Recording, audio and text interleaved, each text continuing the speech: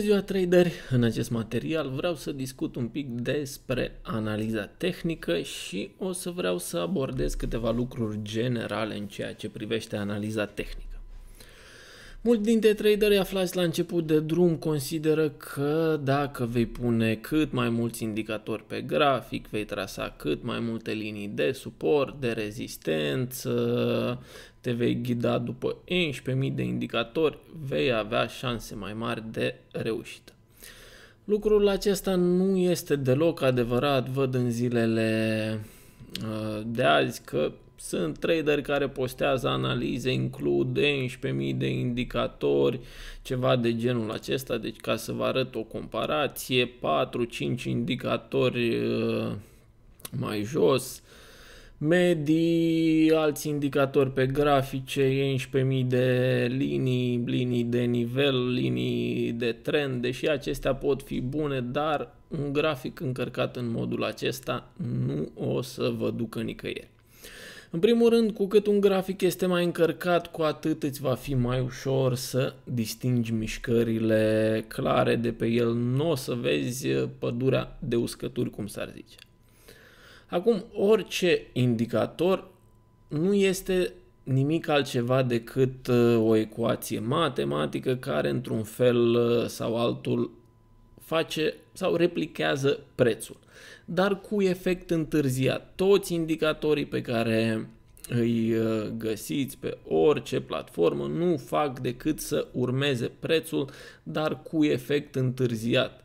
Și de aceea strategiile pe intersecția 5 indicatori într-un anumit fel, uh, două medii în alt fel, nu o să vă dea niciodată rezultate. Se spune că sau nu doar se spune, statistica este că 95% din traderii de retail pierd tranzacționând în piețele financiare, că vorbim de piețele cripto, că vorbim de FX, că vorbim de CFD-uri sau de acțiuni. Majoritatea urmează același tipar pentru că sunt falși uh, guru, falși profesori care îi învață, le arată analize, strategii de tranzacționare pe care ei înșiși nu obțin profit. Am o experiență de peste 11 ani în ceea ce privește tranzacționarea în piețele financiare, da, și eu la început de drum am plecat exact pe aceeași idee, cu cât voi folosi mai mulți indicatori, cu cât graficul meu va fi mai încărcat, rezultatele mele vor fi mai bune. Însă am constatat pe parcurs că nu ăsta este, sau nu în modul ăsta voi reuși să tranzacționez profitabil. În momentul de față am renunțat, am bine, de foarte mult uh, timp, cred că mi-a luat undeva la 1-2 ani în care am schimbat 11.000 de indicatori, uh, alte combinații și toate cele, ca într-un final ușor, ușor cu timpul să-mi dau seama că aceștia nu funcționează. Singurul indicator care nu este întârziat este prețul și volumul. Și da, mai folosesc un indicator, dar o să vă explic uh, și despre acesta și modul în care îl uh, folosesc.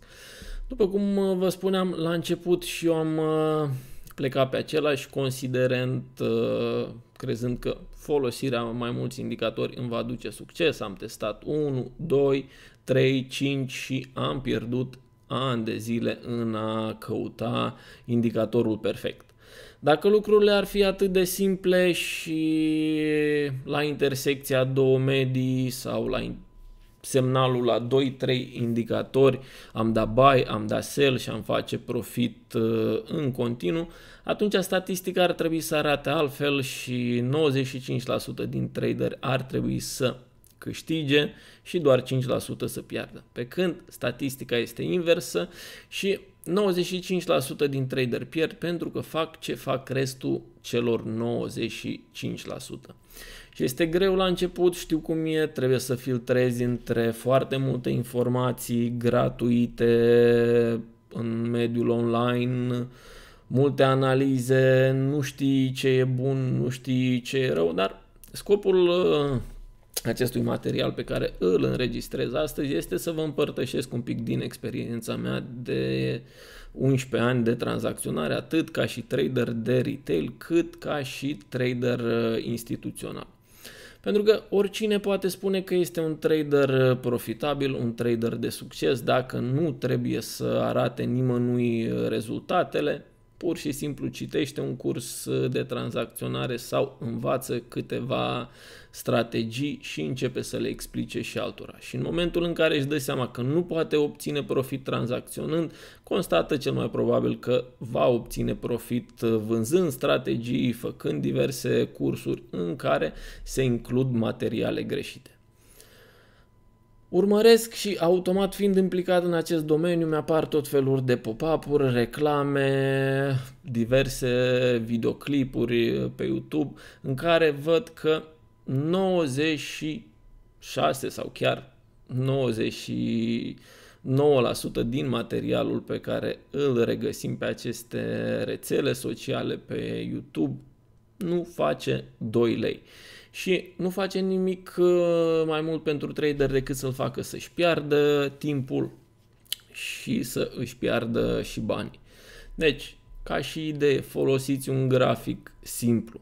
Dacă vreți un indicator maxim 2 este ok, dar indicatorii ar trebui să confirme ceva ce vedem pe grafic. Nu există sisteme de tranzacționare bazate strict pe indicatori care să aducă succes. Vă spun, eu le-am încercat pe toate colegii cu care lucrez la nivel uh, instituțional și traderii cu care am colaborat în acești 11 ani de zile au încercat uh, și ei la fel, pentru că asta este calea pe care urmează fiecare trader la început.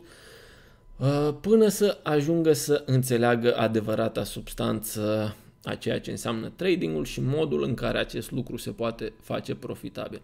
Deci, un prim sfat pe care vi-l dau. Așa, nu în niciun caz, dacă nu vreți să mă credeți pe cuvânt, probabil și voi ca și mine o să ajungeți să concluzionați că lucrurile nu merg în felul ăsta odată cu timp. Un grafic cât mai curat, un grafic cât uh, mai aerisit. Folosesc, după cum vă spuneam, MACD-ul, dar pe mine nu mă interesează faptul că linia galbenă străpunge linia punctată și voi da sell sau viceversa sau volumele, pentru că ele în trecut, în momentul în care ne ducem pe exemple, arată foarte bine și dacă ne uităm, de exemplu, la fiecare intersecție a MACD, Uh, am fi dat tranzacții de buy sau de sell și am fi obținut un profit foarte mare. Da? De exemplu aici, sell, țineam tranzacția până când se intersectau invers, o închideam și aici buy, aici iarăși buy, aici buy. Totul pare foarte simplu în momentul în care analizăm trecutul.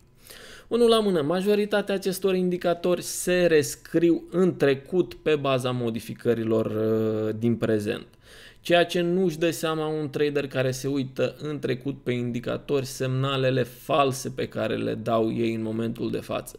De exemplu, luăm uh, doar MACD-ul. Să spunem că aici el ne-a dat un semnal de buy că, datorită faptului că s-au intersectat mediile și au apărut volumele pozitive. În cazul în care prețul în zilele următoare o să scadă, atunci mediile o să cea de cea continuă cu galben, o să vină jos, intersecția nu o să mai existe și uh, semnalul ăsta în momentul în care ne vom raporta la trecut nu mai există. Asta se întâmplă cu mulți uh, indicatori, dar, după cum vă spuneam, indicatorii pur și simplu oglindesc ceea ce face prețul și toți indicatorii au un lagging. Lagging înseamnă o întârziere față de reacția prețului. Nu îți oferă informația chiar uh, în momentul uh, zero, cum s-ar spune.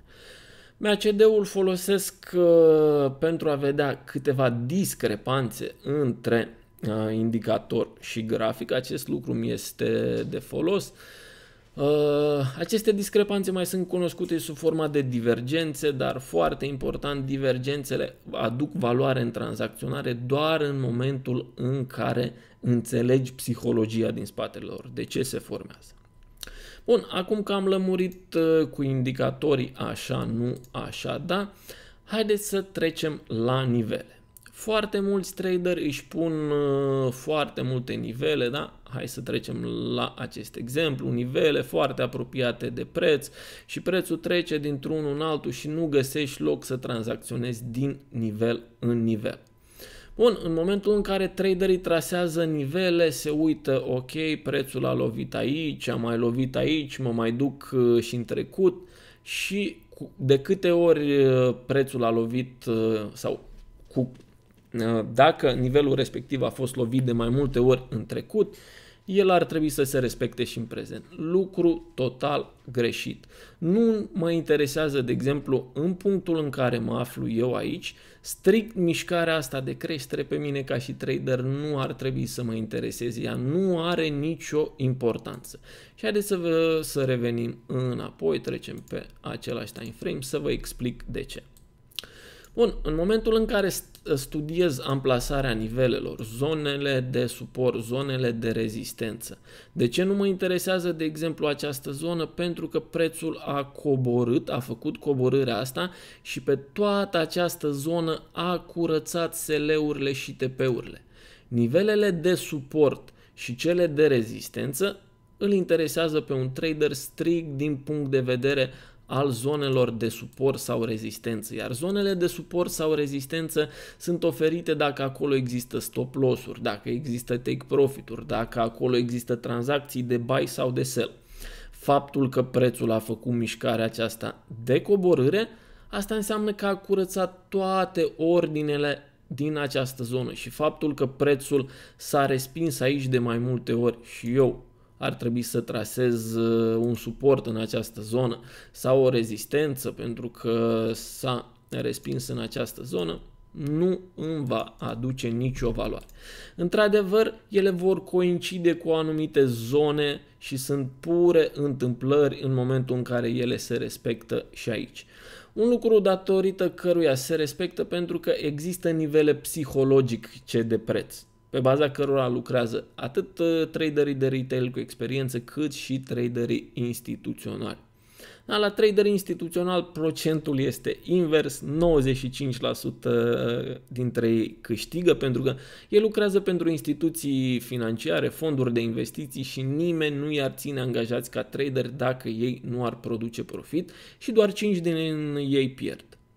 De aceea, trebuie să învățați modul de operare al traderilor instituționali, nu al celor de retail, pentru că 95% din traderii de retail, ce înseamnă un trader uh, de retail, în general trader care tranzacționează pentru el pe 1000, 20, 10.000, 5.000 până în 500 de mii de uh, euro, un trader este considerat ca și trader de retail și în general nu are nicio influență asupra pieței pentru că peste 95% din volume sunt date de jucătorii instituționali, de instituții și implicit de traderi instituționali. Doar 5% din piață, doar 5% din volumele din piață sunt date de traderii de retail. Bun. Acum că am lămurit și treaba cu nivelele și sunt anumite motive pentru care le se respectă în general ca și trader instituțional, te bazezi după niște nivele psihologice, astea se termină în general în 0-0 sau 5-0 și de aceea unele dintre ele par să fie respectate. Acum, abordarea corectă din punct de vedere al nivelelor sau a zonelor de suport și rezistență, din punctul meu de vedere, este în felul următor. Haideți să ștergem acest scanner.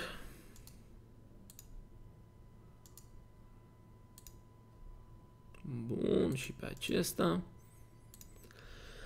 Acum, în ceea ce privește ca și zone de suport pe care prețul uh, ar putea să le respecte, pe mine mă interesează ce se întâmplă da? În zona în care prețul n-a mai fost. Ok, aici am avut mișcarea de creștere, dar mă interesează în momentul în care prețul, de exemplu, coboară sub această zonă. Pentru că nu a mai fost a, mai jos de zona aceasta și automat în momentul în care va coborâ, aici vor fi zone de suport oferite uh, de cumpărători, stop loss-uri care vor fi activate și automat Asta este singura mișcare care mă interesează. Nu mă mai duc mai mult uh, în trecut, bine, doar dacă prețul scade și am preț mai jos prin care nu am avut o altă trecere a prețului. În momentul în care caut zone de rezistență, mă interesează doar ce s-a întâmplat pe această mișcare de scădere. Da? Doar aici. Ce a făcut prețul pe această mișcare de creștere, v-am explicat mai devreme, nu ne interesează pentru că mișcarea asta de scădere a curățat toate ordinele din piață și nu mai are relevanță. Dacă vreau să plasez niște zone de rezistență, ar trebui să o fac pe baza uh, reacției prețului din această zonă. Bun, folosesc uh, și câteva linii mobile, medii mobile, dar asta în general nu tranzacționez după intersecția lor. Da? Se intersectează două medii mobile, dau sell, se intersectează în alt fel, dau buy.